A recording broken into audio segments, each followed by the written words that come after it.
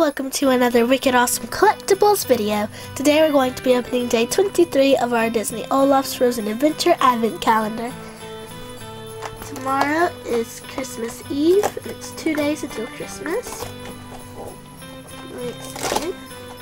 This is cool. So, it looks like sort of a tree or a mountain with um, like snow on it.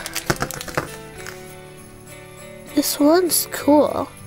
It looks kind of like um, icing. That's neat. Be sure to leave a comment down below telling us which one of these is your favorite.